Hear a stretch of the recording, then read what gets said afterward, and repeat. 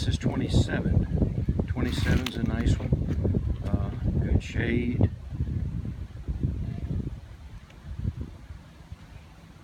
Uh, not bad at all. Fairly close to the lake and right across from the bathhouse too.